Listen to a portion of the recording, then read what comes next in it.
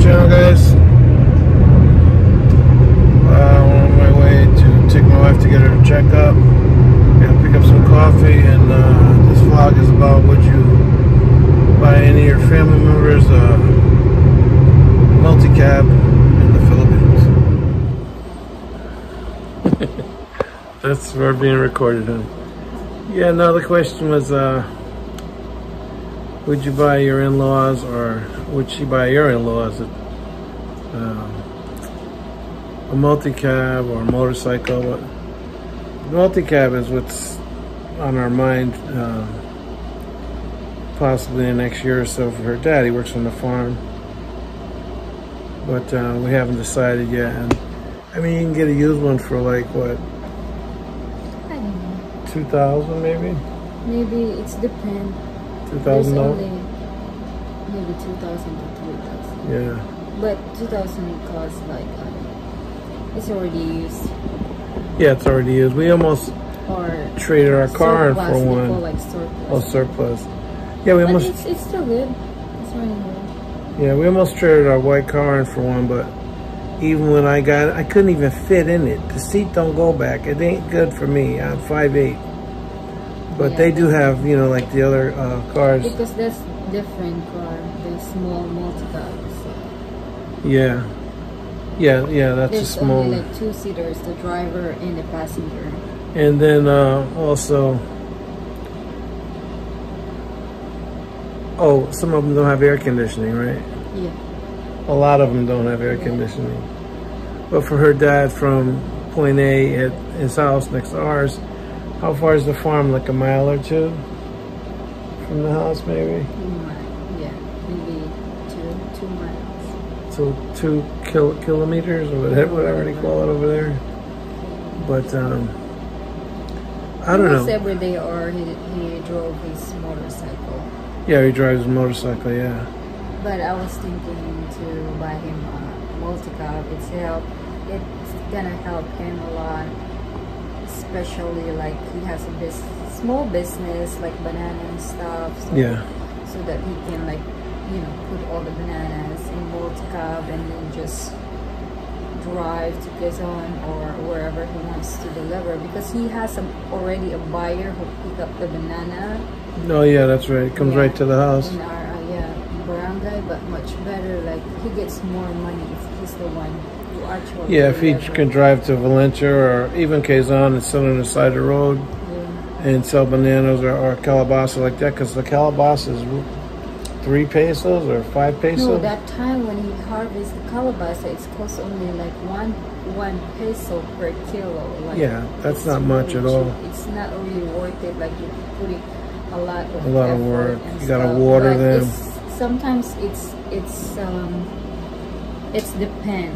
You know, like when people's like having a lot of harvest, like the prices is different, much lower because people like doing like a lot of harvest, but you know, every Yeah. price are different. So he doesn't have the option to go sell on the street. So he has buyers come and Mm-hmm. you know he has corn too. Then the corn they have to put out on the ground to let it dry and go back and forth with the rake to make sure it dries right. Yeah, being a far being a farmer is not easy. It's a lot, a lot of work.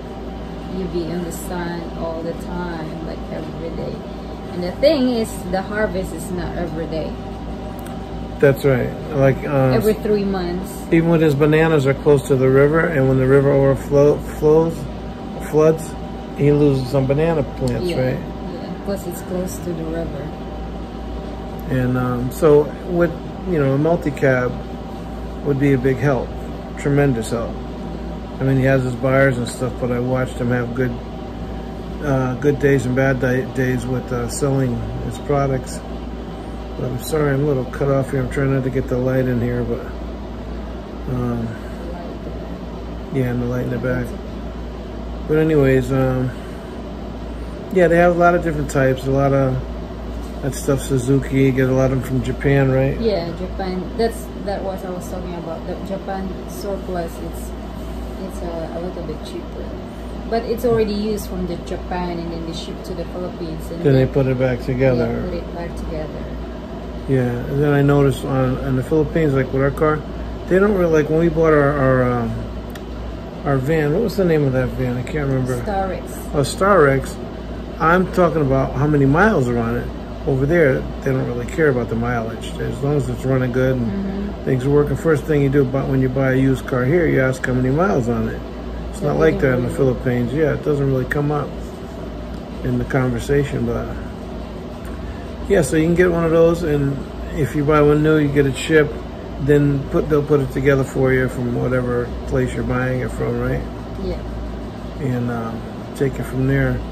Like the Suzuki that uh, Tom and Ruth had, we're thinking about actually getting one of those in a couple years for when we go back, so we'll already have a vehicle there. It depends. We'll have to see. You know, we have a lot going on here. Uh, looking at maybe possibly buying some property here. I'd love to get a couple of containers and put cut them out and do all kinds of stuff to them, but that's just me thinking a lot. I love to get a van and redo it too, like a van life. Not that we'd be living in it, but to travel. Just a project at my uh, young age. But um, so I mean, to you, it would be a good idea, and if you had the money, you would buy that for your family, Yeah. right? Oh, that's a gift for Papa. Yeah, and I asked a question on the community I mean, page Papa yesterday. already have a motorcycle, but multi-cab is a very big help for him, especially in farming. Yeah, definitely, definitely a big help for him. And um, Papa is really want to buy a multi-cab, but can't really afford, you know, even though he Yeah. really wants to because farm is not making like a lot of money. Sometimes it is, but you know, not every day. It's harvest, so we need to save money, you know, for for the food and stuff. So, yeah, because some days you just raise enough money to eat each day. Mm-hmm. Like- and if he gonna do monthly payment, it's gonna be tough Right. for him too. So. And he just paid his motorcycle And off he get paid, yeah. He paid it one for three years. three years. Like, yeah, what was it, seventy-five dollars a month or sixty dollars a month Yeah, or like something three like that? something. Yes. Yeah, But that one can afford because you know it's not like really expensive though. But at least you can afford. But if you're gonna buy a multi-cab and pay monthly, it's gonna be tough. yeah, it is. And there you don't have to worry about insurance. Depends on where you live, or if you want insurance when you first register it. There's some type of insurance uh, you can get, and some people, um, you know, just insure. But fortunately, here in Texas, I found a place. I had Progressive, paying almost two hundred dollars a month, but I found uh, Miles Auto. You pay month. I mean, you pay by the mile. That cut the payments in half. Well, we drove seven hundred some miles last month, but this month we're gonna chill on that. Um, soon, baby girl here will be here with us, but you've heard me say that before. and we're excited. My wife had a good report today at the doctor's. Yeah, hear I'm the- healthy. The baby's healthy. Yeah. So I get two more months to go. And this, with this baby girl, my wife's beautiful. She has such a glow on her face. And some days she's just having a hard time. It's just a natural It's thing. it's kind of tough sometimes, Yeah. especially at nighttime when you go to bed. yeah, she toss and turn and toss and turn. and I could sleep at night. though. Yeah. But that's it. I mean, would you buy, you know, your relatives, your in-laws, uh, a vehicle of some type, multi-cab? And I put that question in a community page. LDR said he wouldn't do it. He's spent money one time, but that's just everybody has their own opinions. Yeah, Um, everybody. you know. But for me, I'm always helping my family. Yeah. I'm always thinking about them. Family is always a family. We, my family doesn't have like a lot of money and stuff. That's why I want to help them too. you know. Yeah, yeah, exactly. I mean, like not all the money goes to there. If we have extra and stuff, like why not? Yeah. They're my family. And uh, but anyways, did laundry, doctors, had HEB real quick. I need to make me some type of an Italian grinder. Ooh, I miss that. It's like once in a while, you gotta have a little pasta in your life. You gotta have a little al dente pasta. You know what I'm saying? Masarap, sarap talaga. Or she's beside so lamica, yummy. Anyways, our son's snoozing on the couch. It was cool when we left. We usually been getting up nine or ten. We left at eight something today. Appointment was at nine twenty, so it was cool out. But now it's like almost hundred Right. again. Yeah, we're not going It's out always till hot anyways. Yeah, till, like- yeah till like seven o'clock. We're usually out on the porch. Fireworks are coming up. We're going to Victoria, I think, at the, on the fourth. we'll see. I'm not sure what our uh, pastor and his wife is doing. If they're having any kind of thing at their house or something. I, I have no idea. Whatever. We don't do much. Um, just taking it easy. And uh, we appreciate you guys watching our videos. Please hit the like button. If you're new and you haven't hit the, the bell for the notifications, please smash that bell and give it the hit the like button and share the videos. And there's links on the inside the description of the videos now on buying purchasing me a coffee. It's just the name of the one I picked. Buy a coffee. It helps support the channel. and we're headed for 4,000 subscribers. Yeah.